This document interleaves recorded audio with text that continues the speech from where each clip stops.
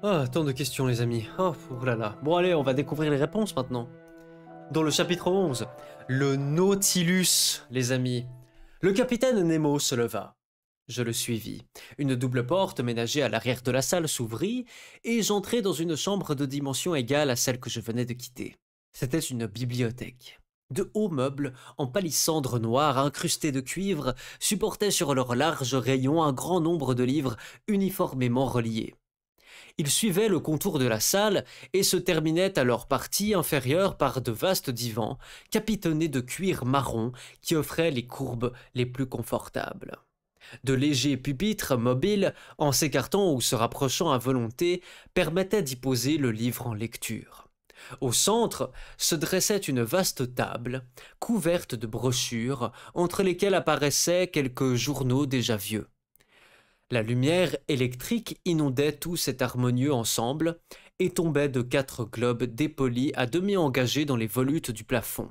Je regardais avec une admiration réelle cette salle si ingénieusement aménagée, et je ne pouvais en croire mes yeux. Regardez-moi ça, là.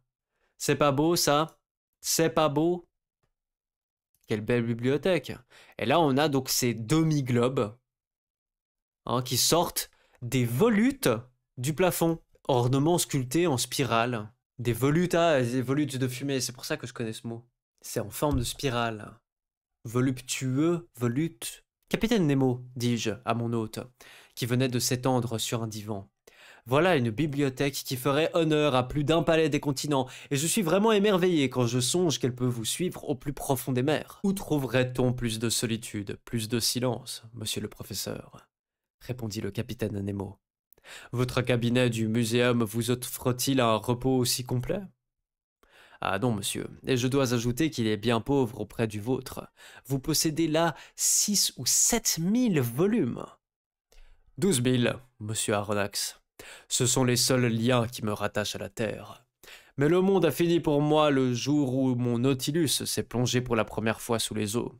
Ce jour-là, j'ai acheté mes derniers volumes, mes dernières brochures, mes derniers journaux, et depuis lors je veux croire que l'humanité n'a plus ni pensé ni écrit. Ces livres, monsieur le professeur, sont d'ailleurs à votre disposition, et vous pourrez en user librement. Il a l'air très misanthrope quand même, euh, notre cher ami. Alors, ça peut se comprendre, mais c'est quoi son vécu à ce mec? Parce que, bon, pour euh, détester autant puis vouloir autant être reclus, il doit y avoir quand même un passif, euh, un passif douloureux chez ce mec. Je remerciais le capitaine Nemo et je m'approchais des rayons de la bibliothèque livres de sciences, de morale et de littérature, écrits en toutes langues, y abondaient. Mais je ne vis pas un seul ouvrage d'économie politique. Il semblait être sévèrement proscrit du bord. Détail curieux, tous ces livres étaient indistinctement classés en quelques langues qu'ils fussent écrits, et ce mélange prouvait que le capitaine du Nautilus devait lire couramment les volumes que sa main prenait au hasard.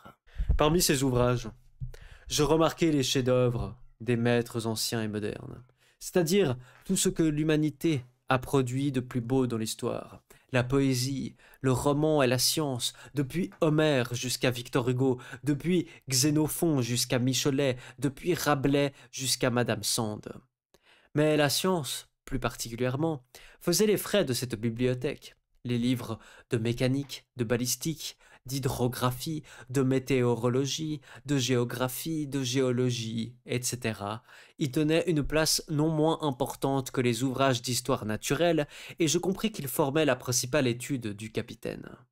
Je vis là tout le Humboldt, tout l'Arago, les travaux de Foucault, d'Henri Sainte-Claire de Ville, de Chasles, de Milne Edwards, de Quatrefages, de Tyndall, de Faraday, de Berthelot, de l'abbé Secchi, de Peterman, euh, du commandant Maury, d'Agassi, etc. Michelet, même quand je suis pas à la fac, il arrive à me déranger, lui. Tu connais Michelet, c'est qui? Ah, parce que je vais pas aller chercher tout ça. Hein. Oui, un historien qui écrivait l'histoire comme il vivait. Ah, c'est ça. Son journal de santé correspond à son journal d'écriture. Quand il parlait des révolutions, il allait bien. Les monarchies, il tombait malade. C'est beau ça. Considéré comme l'un des grands historiens du XIXe siècle et même, selon Paul Bénichou, l'un des plus grands créateurs de l'âge romantique. Bien qu'aujourd'hui controversé, notamment pour avoir donné naissance à travers ses ouvrages historiques à une grande partie du roman national, républicain et partisan, remis en cause par le développement historiographe de la fin du XXe siècle. Je vais pas aller chercher tout ça. Bon, Victor Hugo, j'imagine que c'est bon. Rabelais, j'imagine que c'est bon. Xénophon, premier historien au final, Xénophon. Enfin, connu, à ce, enfin, connu dans l'histoire moderne. Euh, Xénophon, historien, philosophe, chef militaire. Euh, pote de Platon, non? Ou de Socrate, je sais plus maintenant. Il devient l'élève de Socrate, voilà, il me semblait aussi. C'est Socrate, voilà. Les mémoires, donc euh, oui, où est-ce qu'on en était? De Berthelot, de l'abbé Secchi, de Petermann, euh, du commandant Maury, d'Agassi, etc. Les mémoires de l'Académie des sciences, les bulletins des diverses sociétés de géographie, etc. Et en bon rang, les deux volumes qui m'avaient peut-être valu cet accueil relativement charitable du capitaine Nemo. Parmi les œuvres de Joseph Bertrand, son livre intitulé Les fondateurs de l'astronomie, me donna même une date certaine, et comme je savais qu'il avait paru dans le courant de, 1865, je pus en conclure que l'installation du Nautilus ne remontait pas à une époque postérieure. Ainsi donc, depuis trois ans ou plus, le capitaine Nemo avait commencé son existence sous-marine. J'espérais, d'ailleurs, que des ouvrages plus récents encore me permettraient de fixer exactement cette époque, mais j'avais le temps de faire cette recherche et je ne voulus pas retarder davantage notre promenade à travers les merveilles du Nautilus. Monsieur, dis-je au capitaine, je vous remercie d'avoir mis cette bibliothèque à ma disposition. Il y a là des trésors de science, et j'en profiterai. Oh, cette salle n'est pas seulement une bibliothèque, dit le capitaine Nemo. Euh, c'est aussi un fumoir.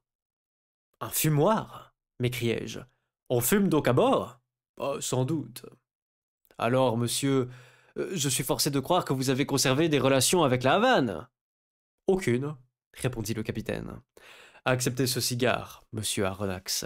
Eh bien, qu'il ne vienne pas de la Havane, vous en serez content, si vous êtes connaisseur. Je pris le cigare qui m'était offert et dont la forme rappelait celle du Londres. Mais il semble, mais il semblait fabriqué avec des feuilles d'or. Je l'allumai avec un petit brasero que supportait un élégant pied de bronze, et j'aspirai ses premières bouffées avec la volupté d'un amateur qui n'a pas fumé depuis deux jours. C'est excellent, dis-je, mais ce n'est pas du tabac. Fumer dans un espace clos comme un sous-marin, c'est vraiment l'idée du siècle. Les incendies, parce que là, alors s'il y a un incendie, euh, c'est la mort, hein. C'est la mort tout de suite, hein. Londres, Cigare de la Havane, à l'origine destiné au marché anglais. C'est excellent, dis-je. Mais euh, ce n'est pas du tabac? Non, répondit le capitaine. Ce tabac ne vient ni de la Havane ni de l'Orient. C'est une sorte d'algue, riche en nicotine, que la mer me fournit, non sans quelque parcimonie. Regrettez-vous les Londresses, monsieur? Ah, Capitaine, je les méprise à partir de ce jour. Fumez donc à votre fantaisie et sans discuter l'origine de ces cigares. Aucune régie ne les a contrôlés, mais ils n'en sont pas moins bons, j'imagine. Au contraire. À ce moment, le capitaine Nemo ouvrit une porte qui faisait face à celle par laquelle j'étais entré dans la bibliothèque, et je passai dans un salon immense et splendidement éclairé. C'était un vaste quadrilatère à pans coupés, long de dix mètres, large de six, haut de cinq. Un plafond lumineux décoré de légères arabesques distribuait un jour clair et doux sur toutes les merveilles entassées dans ce musée. Car c'était réellement un musée dans lequel une main intelligente et prodigue avait réuni tous les trésors de la nature et de l'art, avec ce pêle-mêle artiste qui, qui distingue un atelier de peintre. Une trentaine de tableaux de maîtres, à cadre uniforme, séparés par d'étincelantes panoplies, ornaient les parois tendues de tapisserie d'un dessin sévère. Je vis là des toiles de la plus haute valeur et que, pour la plupart, j'avais admirées dans les collections particulières de l'Europe et aux expositions de peinture. Les diverses écoles des maîtres anciens étaient représentées par une Madone de Raphaël, une vierge de Léonard de Vinci, une nymphe du Corrège, une femme du Titien, une adoration de Véronèse, une assomption de Murillo, un portrait d'Holbein, un moine de Velázquez, un martyr de Ribeira, une kermesse de Rubens, deux paysages flamands de Ténier, trois petits tableaux de genre de Gérard Drault, euh, de Metsu, de Paul Potter, deux toiles de Géricault et de Prudon, quelques marines de Bakuzen et de Vernet. Ça, ça fait un sacré pactole pour Arsène Lupin. Hein. Parmi les œuvres de la peinture moderne apparaissaient des tableaux signés Delacroix, Ingres, Decamps, Troyon, Messonnier, Daubigny, etc. et quelques admirables réductions de statues de marbre ou de bronze, d'après les plus beaux modèles de l'Antiquité, se dressaient sur leurs piédestaux dans les angles de ce magnifique musée. Cet état de stupéfaction qui m'avait prédit le commandant du Nautilus commençait déjà à s'emparer de mon esprit. Magnifique image. Waouh! Regardez-moi ça, les amis! Regardez-moi ça!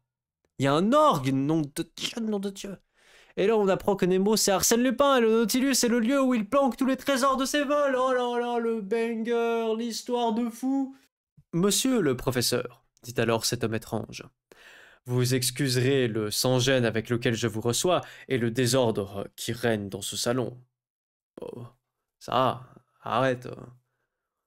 Monsieur, répondis-je, sans chercher à savoir qui vous êtes, m'est-il permis de reconnaître en vous un artiste? Un amateur, tout au plus, monsieur. J'aimais autrefois collectionner ces belles œuvres créées par la main de l'homme. J'étais un chercheur avide, un furteur infatigable, et j'ai pu réunir quelques objets d'un haut prix. Ce sont mes derniers souvenirs de cette terre qui est morte pour moi. À mes yeux, vos artistes modernes ne sont déjà plus que des anciens. Ils ont deux ou trois mille ans d'existence, et je les confonds dans mon esprit.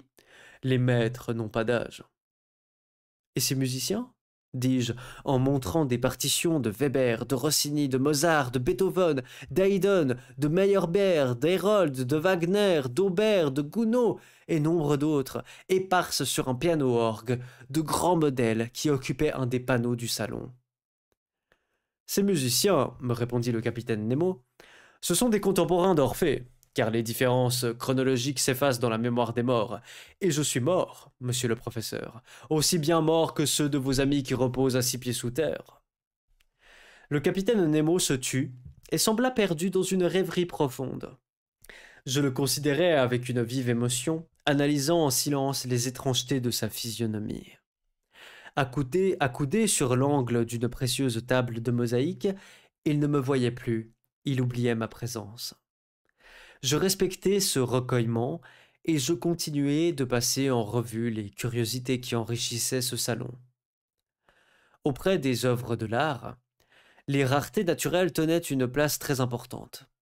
Elles consistaient principalement en plantes, en coquilles et autres productions de l'océan, qui devaient être les trouvailles personnelles du capitaine Nemo. Au milieu du salon, un jet d'eau, électriquement éclairé, retombait dans une vasque faite d'un seul tridacne. Tridacne. Grand mollusque des mers chaudes à deux valves ondulées appelé aussi bénitier. Ça, c'est un tridacne. Cette coquille, fournie par le plus grand des mollusques acéphales, mesurait sur ses bords délicatement festonnés une circonférence de six mètres environ, elle dépassait donc en grandeur ces beaux tridacnes qui furent donnés à François Ier par la République de Venise et dont l'église Saint-Sulpice à Paris a fait deux bénitiers gigantesques. L'église Saint-Sulpice, église sous-cotée de Paris. Sous-cotée, hein, euh, Saint-Sulpice. C'est très joli. Modeste, mais quand même, c'est assez joli. Autour de cette vasque, sous d'élégantes vitrines fixées par des armatures de cuivre, étaient classés et étiquetés les plus précieux produits de la mer qui eussent jamais été livrés au regard d'un naturaliste. On conçoit ma joie de professeur. L'embranchement des zoophytes offrait de très curieux spécimens de ces deux groupes des polypes et des échinodermes. Dans le premier groupe, des tupibores, des gorgones disposées en éventail, des éponges douces de Syrie, des isis, des moluques, des pénatules, une virculaire admirable des mers de Norvège, des ombellulaires variés, des alcyonnaires, toute une série de ces madrépores que mon maître Milne Edwards assis sagacement classés en sections et parmi lesquels je remarquai d'adorables flabellines, des oculines de l'île Bourbon, le char de Neptune, des Antilles, de superbes variétés de coraux, enfin toutes les espèces de ces curieux polypiers, dont plus des pieds, pardon, polypiers, dont l'assemblage forme des îles entières qui deviendront un jour des continents dont les échinodermes remarquables par leur enveloppe épineuse, les astéries, les étoiles de mer, les pentacrines, les comatules, les astérophons, les oursins, les holoturies, etc., représentaient la collection complète des individus de ce groupe. Euh... Ouais, il a tout mis là. Il a tout mis les îles des Moluques. Île des Moluques, qui est la destination de Magellan lorsqu'il fait son tour du monde parmi tous les mots qu'il y a ici, on va pas tous s'amuser à chercher. Je vais en prendre un au hasard. Ah, les polypiers, parce qu'un polypier, alors c'est un joli mot, ça. Hein. Voilà, polypier. Donc, diverses sortes de mollusques, de coquillages, etc., qui sont répertoriés, etc. Alors, euh, peut-être qu'il faudrait montrer ça aussi à Conseil, parce qu'on sait que Conseil, euh, une de ses premières qualités, c'est la classification des espèces. Il est très très fort pour ça. Donc peut-être que ça pourrait l'intéresser. Un conchiliologue. Putain. Spécialiste de la conchiologie, étude des mollusques à coquilles. Conchi... c'est peut-être conquis Conchiliologie. D'ailleurs, on a eu le mot la dernière fois. Chirognomonie. Ça se prononce pas comme ça. C'est chirognomonie, évidemment comme chiropracteur par exemple. Un conchiliologue un peu nerveux se serait pâmé certainement devant d'autres vitrines plus nombreuses où étaient classés les échantillons de l'embranchement des mollusques. Je vis là une collection d'une valeur inestimable, et que le temps me manquerait à décrire tout entière. Parmi ces produits, je citerai, pour mémoire seulement, l'élégant marteau royal de l'océan Indien dont les régulières taches blanches ressortaient vivement sur un fond rouge et brun, un spondyle impérial aux vives couleurs, tout hérissé d'épines, rare spécimen dans les muséums européens et dont j'estimais la valeur à vingt mille francs, un marteau commun des mers de la Nouvelle-Hollande, qu'on se procure difficilement, des bucardes exotiques du Sénégal, fragiles coquilles blanches et à double valve, qu'un souffle eût dissipé comme une bulle de savon, plusieurs variétés des arrosoirs de Java, sortes de tubes calcaires de replis foliacés et très disputés par les amateurs. Toute une série de trocs, les uns jaunes verdâtres, pêchés dans les mers d'Amérique, les autres d'un brun roux, amis des eaux de la Nouvelle-Hollande, ceux-ci venus du golfe du Mexique et remarquables par leurs coquilles imbriquées, ceux-là des stellaires trouvés dans les mers australes, et enfin, le plus rare de tous, le magnifique éperon de la Nouvelle-Zélande, puis d'admirables télines sulfurées, de précieuses espèces de citérées et de Vénus, le cadran très euh, des côtes de Tranquebar, et le sabot marbré à nacre resplendissante, les perroquets verts des mers de Chine, le cône presque inconnu du genre Konoudoli, toutes les variétés de porcelaine qui servent de monnaie dans l'Inde et en Afrique, la gloire de la mer, la plus précieuse coquille des Indes orientales, enfin des litorines, des dauphinules, des turitelles de gentine, des ovules, des volutes, des olives, des mitres, des casques, des pourpres, des buquins, des harpes, des rochers, des tritons, des sérites, des fuseaux, des strombes, des ptérocaires, des patelles, des ziales, des cléodores, coquillages délicats et fragiles que la science à baptiser de ses noms les plus charmants. Ah Putain. Mais il est fou.